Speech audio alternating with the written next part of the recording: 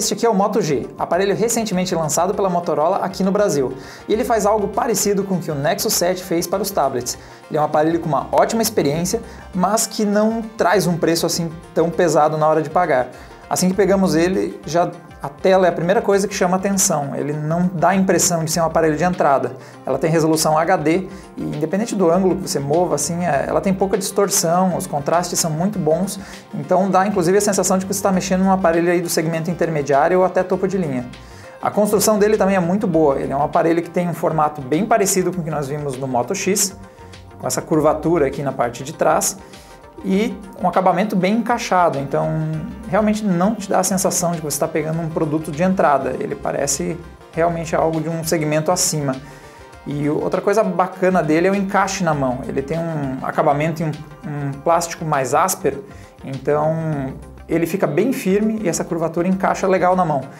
A tela dele é de 4.5 polegadas e apesar de ser de entrada, vocês veem que as bordas não são muito grandes. Então ele fica com um tamanho que, para o meu caso aqui, encaixou muito bem. É bem confortável usar ele com uma mão, eu consigo alcançar todas as pontas sem, sem nenhuma dificuldade maior. Além da tela, outra coisa que destaca bastante nesse aparelho é o seu hardware. Ele tem um, uma CPU quad-core de 1.2 GHz e 1 GB de RAM. Essas duas características são muito boas, que principalmente a RAM é um limitador complicado no Android. 1 GB realmente é um valor ideal para você ter essa fluidez que vocês estão vendo aqui, que eu consigo navegar legal. Uh, o processador quad-core também se sai muito bem aí na maior parte das coisas que a gente usa.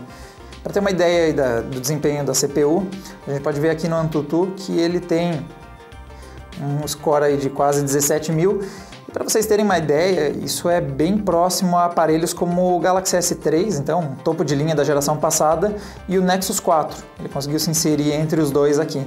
Claro que aqui nos topos de linha, tipo LG G2 ou Galaxy S4, eles vão ter o dobro de desempenho, né?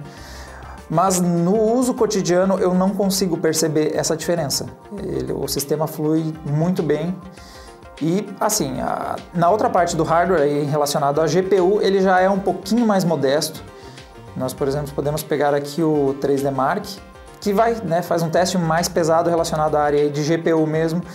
E a GPU dele não é que seja ruim, mas aí ele já também não consegue ir tão longe como a gente vê em, em outros aparelhos aí. Então vocês veem aqui tem uma série deles aí, os principais. A gente vai descer bastante até achar o Moto G, que está logo aqui embaixo. Apesar disso, a performance dele em games não é comprometida. Então vamos abrir aqui o Real Racing 3. Então, apesar da GPU dele não ser necessariamente a mais potente que a gente tem disponível, ele ainda assim vai conseguir se virar legal em games. Aqui o game a gente comparou ele em outras plataformas, ele roda com gráficos melhores, ele dá uma reduzida para conseguir rodar legal aqui no, no Moto G. Mas ainda assim, considerando que é um aparelho aí um segmento de entrada, quase intermediário, eu acho que não tem muito que dê para reclamar de, da performance, principalmente porque ele não tem problema em fazer multitarefa. Então, vocês veem que o sistema não ficou travado apesar do game. Então, dá para jogar, não vai ser o dispositivo final para quem está pensando em games, mas ainda assim o desempenho dele é, é, bem bacana. Outra coisa que nós podemos testar aqui é um vídeo em em Full HD, que também não vai ser problema nenhum para esse, aparelho aqui.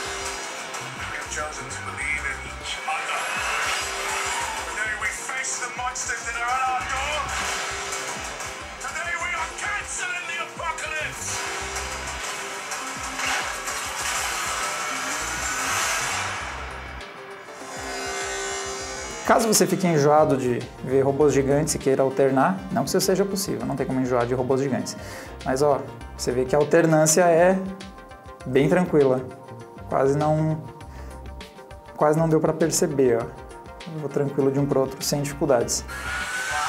Então você vê, é um aparelho de entrada, mas a experiência dele é muito boa. Eu não, eu não sinto aquela, aquela coisa do tipo paguei barato por um aparelho. Você tem a sensação de ter a experiência ideal do Android.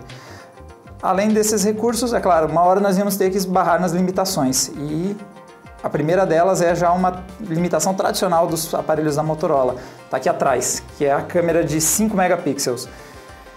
ela não se sai muito bem em praticamente todas as situações que nós testamos. Uma coisa que me incomoda bastante é principalmente o, o foco automático dela, que é um, bastante ruim. Você precisa fazer o foco manual para que ele funcione legal. Você tem que determinar para o celular onde é que você quer focar, onde você quer fazer a exposição, e aí ele se sai melhor. Mas ainda assim, mesmo com você ajustando um pouco mais as coisas, ele não é excepcional. Então, por exemplo, aqui nós temos umas fotos em condição bem boa de luz. Deixa eu ver que o vermelho deu uma estourada aqui. Mas assim, mesmo em lugares mais claros, ela faz fotos ok. Não, não, dispensaria totalmente a ideia de uso dela em lugares mais claros, mas vocês vão ver que é só dar uma complicada um pouquinho. Vamos pegar uma situação aqui que eu bati uma foto um pouco pior. É só você complicar um pouco mais a vida da câmera que ela vai se perder. Tipo, existe algo aqui, ele só não está aparecendo, porque é um lugar muito escuro e ele não tem a menor chance de fazer.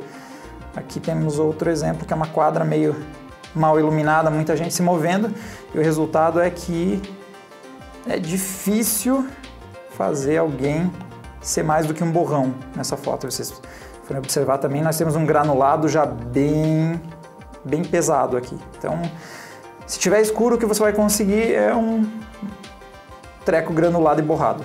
Então, não é, eu não consideraria a câmera ideal, é, o aparelho ideal para quem se importa com fotografia. Você vai encontrar outros aparelhos da linha Xperia ou Nokias com Windows Phone que vão estar né, também nesse segmento de entrada e que vão conseguir se sair melhor.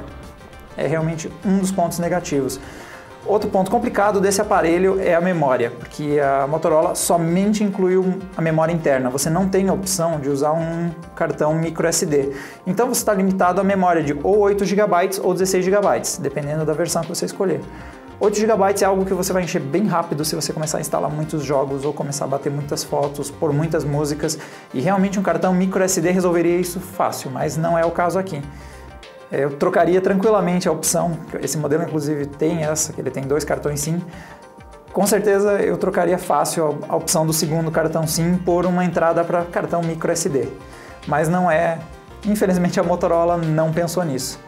Bom, esse é o Moto G, está no mercado brasileiro pelo preço de 649 reais em sua versão de entrada. De nós tem dois cartões SIM, ele está por R$ 699. E nós temos também algumas outras edições que acompanham fone de ouvido, mais memória, aí já custam ali pela casa 799.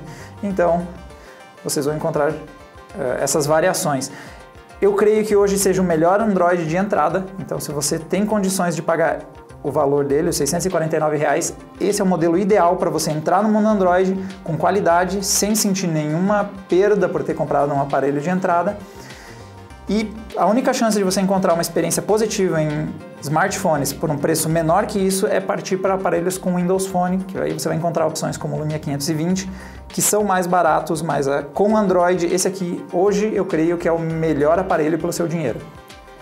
Essa foi a análise do Moto G. Mais detalhes vocês conseguem encontrar ali no nosso site, na review completa em texto.